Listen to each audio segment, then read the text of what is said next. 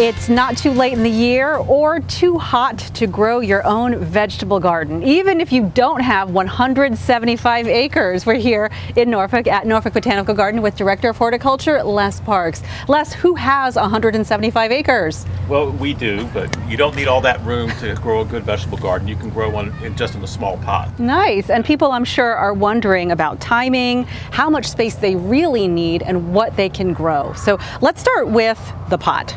Okay, any size pot will do. You know, you can use an old pickle bucket, or you can go to a, a garden center and pick up an old pot. They say they sell these pretty cheap.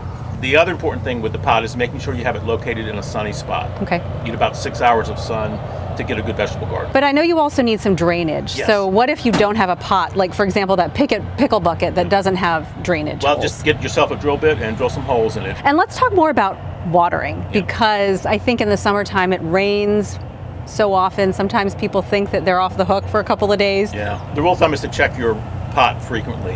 After you've had it a while, you'll know how long it takes for it to dry out or, or, or until it needs water again.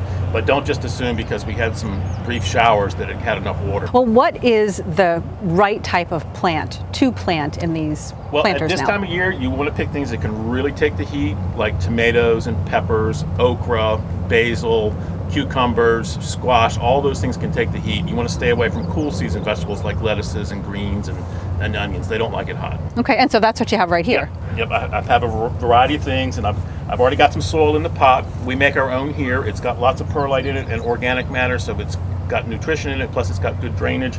But if you're going to buy soil, spend the money and get the good stuff. And in this particular pot, how many would you put in Well, that? I'm gonna I'm gonna put about four things in here, Okay. and they're kind of small now. Um, this is a cherry tomato, which are great for snacking, and um, you just take it out of the pot, and then you want to massage the roots a little bit, and you'll tear some, but don't don't fret. That actually stimulates new root growth.